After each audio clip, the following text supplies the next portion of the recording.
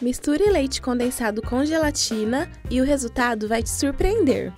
Em uma panela, adicione 395 gramas de leite condensado. É muito importante que o fogo esteja bem baixo, para não correr o risco de queimar. Misture bem e assim que começar a ferver, você já pode desligar o fogo. No liquidificador, adicione uma xícara de água bem quente e 100 gramas de gelatina de morango. Bata por aproximadamente 3 minutos ou até tudo se misturar muito bem.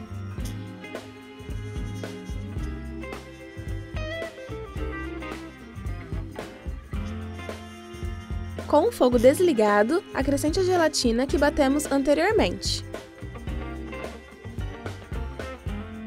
De qual cidade você está nos assistindo? Deixe aqui nos comentários para eu te mandar um grande abraço.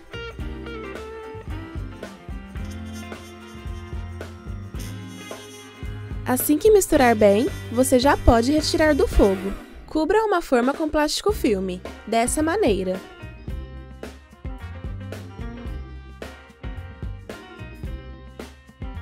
Agora, despeje a mistura sobre a forma.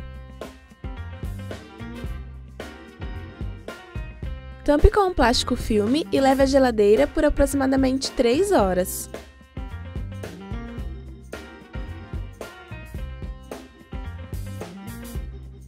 Desenforme a gelatina e corte em cubos pequenos.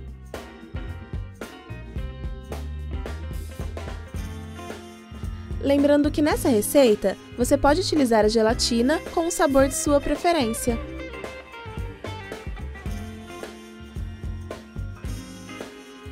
Se você ama receitas doces, deixe aqui nos comentários. Eu amo receitas doces.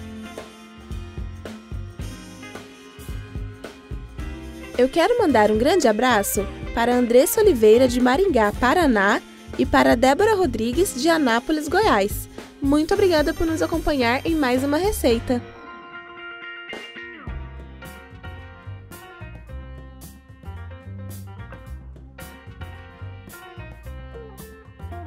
Compartilhe, comente e deixe seu like nesse vídeo.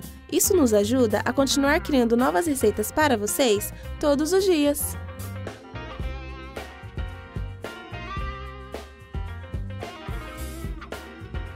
Essa receita é muito fácil de fazer e fica muito deliciosa. As crianças vão adorar! Obrigada por me acompanhar em mais uma receita. Espero que tenha gostado dela assim como eu. Até amanhã na próxima receita!